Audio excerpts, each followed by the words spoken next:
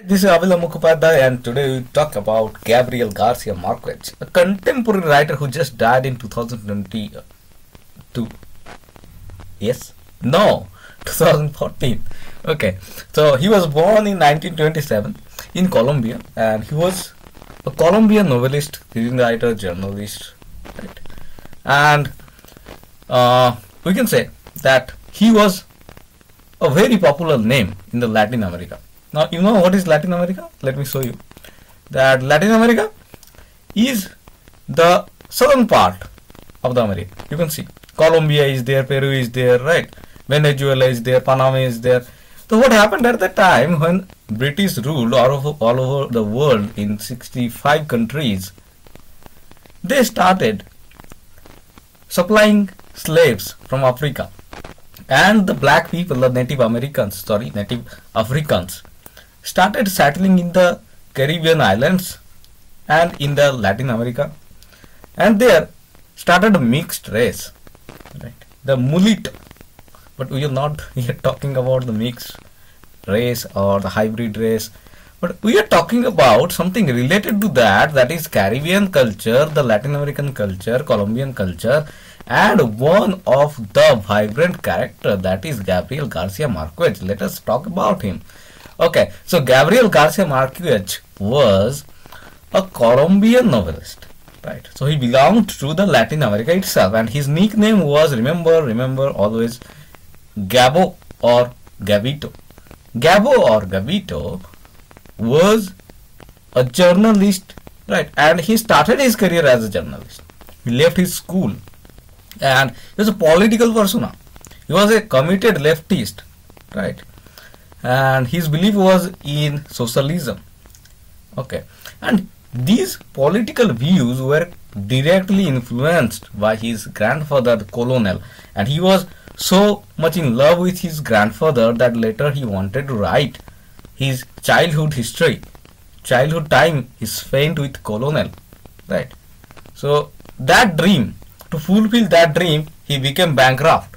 We would learn that he started writing a novel and he had no money he even uh, sold his car right? So his family suffered the food crisis at that time. All right our gabriel was associated with a literary movement. Okay. That is the magic realism. American bloom latin american bloom not bloom boom latin american boom. You discussed what is latin american boom and what is magic realism right? You know what is magic realism probed or we would discuss in the terminology related to drama that would be a separate lecture or a series of lectures. Alright. So G Gabriel Garcia was a Latin American writer and he was very much well versed in Spanish language. He won the Nobel Prize in Literature that makes him a prominent character in English literature. Right and he won the Nobel Prize in Literature in 1982 you need to remember the year. Because if you are appearing for SET-NET GET definitely you would have a question from Gabriel Garcia Marquez. If your luck favors and my lectures help you right? Okay. Then come to some of his well-known works right? Are set in the village Macondo. So Macondo you need to remember the term Macondo. Macondo is the place just like you think that the Wessex right is a fictional land. Just like that, Macondo is a fictional land created by our Gabriel Garcia Marquez. And this land is though fictional but related to the birthplace of our Gabriel Garcia Marquez that is Aracataca. You need to remember the terms Aracataca. So Aracataca is the birthplace of Gabriel Garcia Marquez and somehow related to the fictional village that he created named Macondo right? So come to the next point that is very important that he was one of the founder father of QAP now what is QAP confusing right? QAP is nothing but a Colombian newscast. So it is a newscast that uh, ran from January 2 1992 to December 1997 we would look at the works of Gabriel. The story of the shipwreck sailor left Storm. Then we have in Evil Hour, and 100 years of solitude very very very important. You need to remember that name. 100 years of solitude and a little a brave history and plot of the work that I discuss here then the incredible and sad tale of innocent Erendira and her heartless grandmother. Autumn of the Patriarch. Then Chronicle of Death foretold my favorite text. So much debates I conducted, so much debates I participated. Regarding Chronicle of Death foretold because the justice is left on the readers. Love in the time of cholera, changing the history of Africa, news of a kidnapping and the leaving to the tale and memories of my melancholy horse. So you can see that how striking, how powerful the titles are. So you need to remember all these titles, right? Now we uh, talk about a few works of Marquez. We can't complete all these works today because you know that I make separate videos on different works. So don't worry about that. If the work is prominent, you would get the lecture. So that's my responsibility. Your responsibility is to subscribe the channel. If you're not subscribing my channel, then uh, what can I say? Uh, that's my fault, right? you are not enjoying my classes all right come to the first text that is the story of a shipwrecked sailor shipwrecked sailor right so uh, the story actually was a political satire and written in a series of 14 news articles for El Espectador. So this is a series of writings written for El Espectador You need to remember these terms. Alright. Alright. So the story is written on the basis of one interview taken from a young surviving sailor. Alright. Who survived in a Colombian Navy vessel shipwreck. And the story is said to be very much biased and glorifying that sailor. So, so many critics said that, oh no, this is a biased story, we do not read that. So that was rejected by so many writers, so many critics. Then come to the Lev Storm. Lev Storm was his first novella. Novella, you know what is novella? Novella is a small form of novel that is written in between 100 and 150 pages. And if it is more than 200 pages, then it would call novel. Alright. So, his first novella and it took 7 years for him to find a publisher. So all the writers in the initial day, all authors in the initial day, they face the same problem to find publisher, right?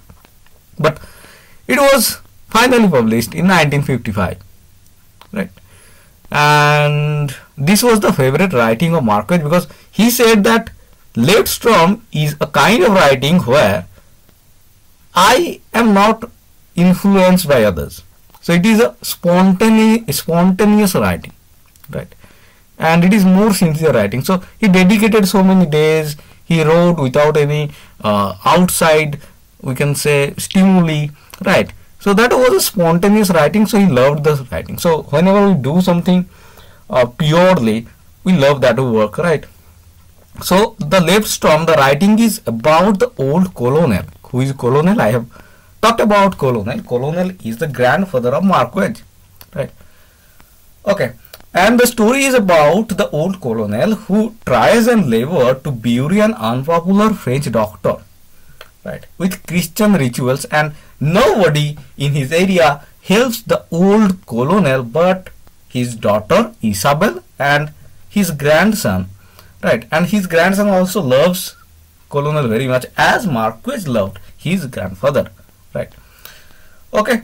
Uh, the story left Storm includes a number of literary styles including the stream of conscious, female roles are the theme, right?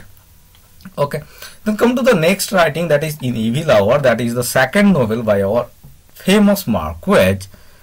Okay, and some of the characters of the story reappears in the novel 100 Year of Solitude. Now, today we discuss 100 year of Years of Solitude which is very important, right? And it is written in 1900 uh, 67 all right now i would tell a story here. What happened, you know, that from the teenage, when our Marquez was a small child, he had the desire to write all the story related to his grandfather's grandfather's house where he grew up, right? One day, when he was a big man, when he was a grown up man, he was driving his car with his family and on the car he got the idea, the plot of the story in his mind? And he turned the car, came back to home and started writing. And this took 18 months to write the novel 100 Years of Solitude. And during this time, there was a financial crisis, so he had to sell the car. But that was not enough. That there was the food crisis, therefore, the wife of Marquez had to ask food credit in credit from the butcher and the baker. So uh, the work was a troublesome work because of the financial condition of that person, our Marquez, and nine months home rent was due during writing this novel. Right.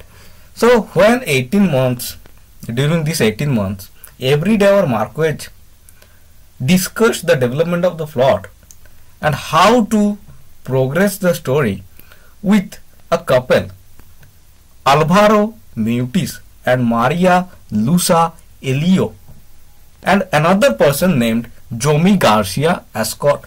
Right.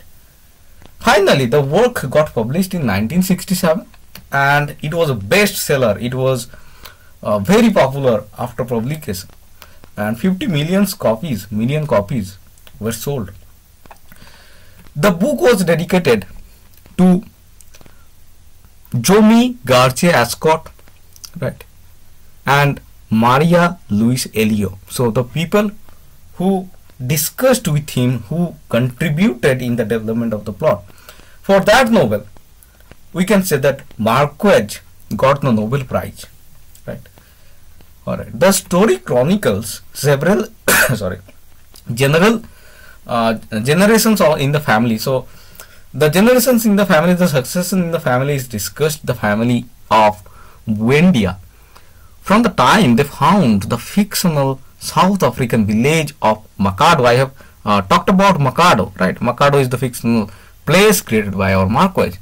So in Macondo, the family of our Buendia and the successor, the generations, the story of them are discussed, narrated.